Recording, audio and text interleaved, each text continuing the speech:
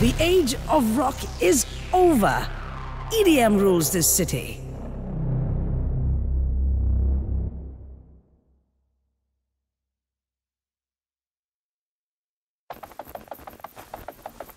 Oh, yeah?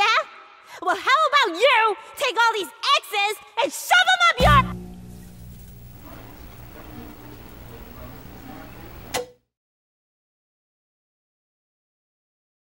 How do you feel when someone compares one game to another as a selling point?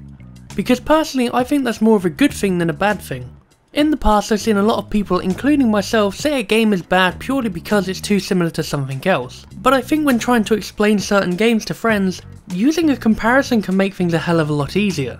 Let me give you a couple of examples. New Super Lucky's Tale is a platformer that's very similar to games like Crash Bandicoot and Spyro. Or how about something like Ashen? It's a very beautiful game with gameplay that's pretty much identical to Dark Souls, but it tones it back a bit with all the bullshit, so you get an idea in your head of what the game might be like. Both of these games I've just mentioned are games that I'm rather fond of and I've sung their praise previously in videos, but does that lessen the impact or enjoyment of a game? No, of course not. A game being bad just because it's like something else is a really stupid argument. A game can be compared to another game by all means, but there's nothing wrong with that. But I feel like it's an excuse to unfairly criticise a game as a standalone product. Or you know, give journalists that cheap headline. I'm mentioning this because the only way I can really start talking about this game is by pointing out the similarities to another game I played recently, and this doesn't negate my views on the game or anything, but I noticed this pretty early on and it makes explaining the game a hell of a lot easier. So with that said, No Straight Roads is basically no more heroes but about music. And that's not a bad thing, rather a little unexpected. When I first saw this game posted on Twitter back in 2019, my brain immediately went, oh this is just a hack and slash game similar to Devil May Cry. And while I'm right on the assumption, I'm kind of wrong at the same time. No Straight Roads is a hack and slash of sorts, but the overall level structure and setup is very similar to No More Heroes. No Straight Roads is a story about music, or rather a musical revolution. In the town of Vinyl City, EDM is the biggest craze at the moment, and is basically the dominant source of music since it's currently hitting the top of the charts, and it has basically no competition. And this is all thanks to a company called NSR who scouted out the best talent from all across the world and brought them into the city. The game starts off with an interview of an upcoming rock band called Bunkbed Junction, where two musicians called Mayday and Zuke are about to go on stage and perform in front of the judges to win a spot within the company. They have a passion to reintroduce rock into the industry and hopefully bring back some much needed variety into Vinyl City. So once the interview is over, you make your way onto the stage to perform in front of the judges to see if your music is powerful enough to be deemed worthy to join the company. And within this section is the tutorial for the game. Because Zuke and Mayday perform with different instruments, they have a different style of combat to play around with. Mayday is a more heavy hitting class, dealing more damage with each swing of her guitar, while Zuke is more of a combo type setup, where he performs better when there's more beats between each attack. The only thing the duo share is the ability to parry certain hits, which are indicated by a specific colour. And while this is fine, I do like the parry system, it feels a little underdeveloped. It works when it wants to, and when it does, it does it incredibly well. But actually trying to figure out the optimal time to parry is a bit tricky. I get confused between if it's actually down to the attack animation or the music itself, as with this being a music themed story, a lot of the attacks work in sync with the music of the boss battle. After doing what seems like a good job, they get kicked out of the competition because the leader of NSR, Tatiana, states that rock is a dead concept and has no spot in modern music since EDM is somehow far superior. And then she just flat out bans any more rock artists from entering the contest. So why is rock dead? No idea. But what you learn shortly after is that NSR's recruitment trials look at one key factor. It's not the music itself, it's rather can you power up the power meter because it turns out that NSR is not only a big record label, they're also in charge of Vinyl City and provide power to the people who live within it. So, thanks to the power of music, Vinyl City has a productive and efficient way to produce power, which is great. Or rather, it would be great if there was enough power to go around. It seems that Vinyl City encounters a lot of blackouts and after seeing an overview of the city, it appears that NSR prioritises the concerts over the people. So after the anger of being kicked out, Rock being banned, and then discovering the poor morals of the company, Mayday and Zuke decide to take matters into their own hands with the end goal being fair distribution of power and also allowing the variety of music to flow throughout the city, and without a second of a doubt, Bunkbed Junction make their way to the first concert. And this is where the main objective of the game kicks in. Your main objective is to make your way to a concert hall and hijack it. What this means basically is head in, beat the boss which is the artist currently performing at the venue, and then take over it. However in Vinyl City, the artists who are performing actually own the district, so once you beat them, you take over that district. In total, there's five different districts to progress through, each with their own distinct theming, like you've got a futuristic district, a classical music district, modern art, space in the universe, and then finally, I'm guessing anime? I think when you see the boss, this one will make more sense. The sea is a gift to the world. Oh, I agree. I love going to the beach and catch seahorses. Don't take Mayday too seriously. I doubt she could even catch slow-moving turtles.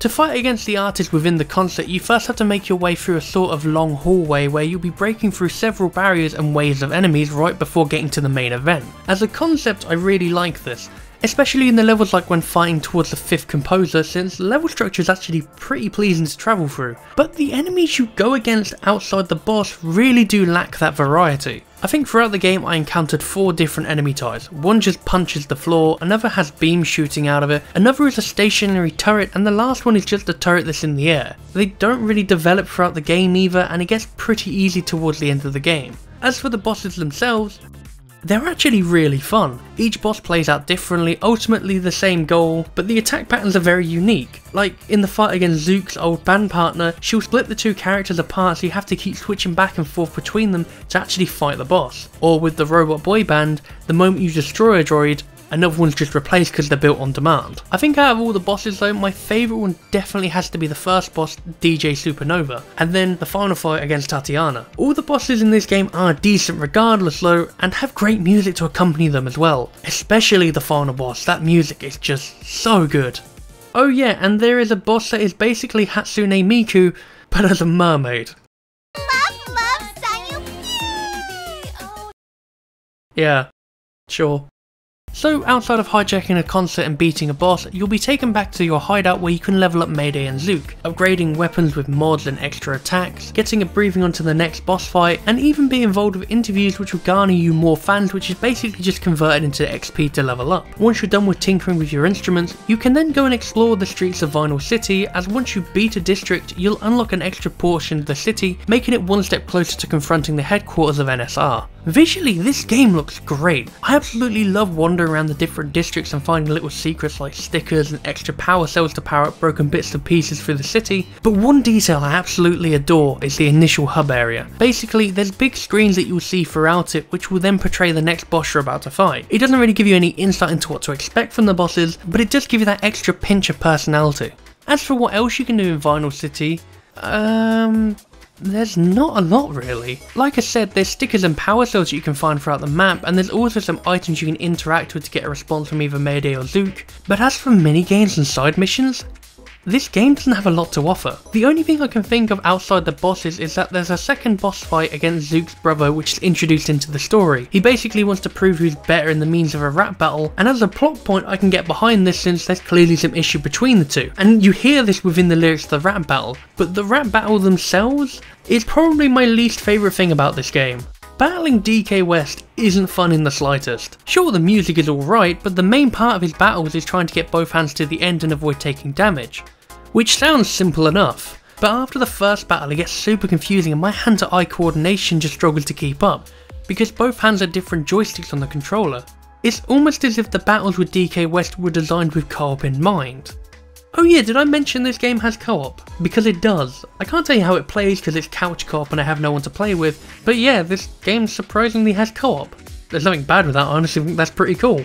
Besides DK West, the only other thing you can really do in Vinyl City is revisit the bosses of extra difficulty attached. Once the district is opened, a ladder to the left of the entrance will be open for you to go down, and from here you're sent back to the entrance of the concert hall, and if you speak to someone outside, you'll unlock a harder version of the fights which you can then go through and beat to unlock something called Crazy Mode. Instead of just being like a harder difficulty where attacks are stronger, Crazy Mode amps up things like increased attack speeds, different patterns, and some other surprises as well. Plus, if you beat the game, you'll unlock another mode called Parry Mode for all of the bosses, and in this mode you can only deal damage by parrying. And if you can beat that mode, you unlock Perfect's Parry Mode, which I would love to play, but I'm not very good at parrying. Fascinating. Hmm, that is fascinating. Your limited aspirations, your misplaced efforts. You remind me of Pluto. I'm in a really weird stance with No Straight Roads because I really enjoyed my time with it, like to a point where I beat it in one sitting of about 8 hours. But I think that what bugs me most about it is, for what you get for the most part, this game is a great time, but I feel like I haven't got enough on my plate to be fully satisfied. What the game sets out to do, it does incredibly well. The soundtrack is really good to listen to, the combat works outside the parrying, and I really love how the bosses are in sync with the music. But I feel like the biggest letdown is the overall build up to the bosses and the quantity of bosses in the game. If you don't include the final boss, you make your way for about 5 different bosses, and I can imagine for a few that won't take long to beat. I feel like if No Straight Roads was in development for longer and did a couple more districts, then I could probably recommend this at full price. I still personally really like the game, but I don't think it's fully worth the money unless they iron out a few of the kinks. My final notes to the game would have to be this low. If you're a fan of games like No More Heroes, then No Straight Roads is something that should definitely be on your list of interests. It's worth your time, and while it's shorter, it does provide a solid level of enjoyment. But regardless on how confident you think you are, if you're playing alone, just avoid DK West. He's really not the best.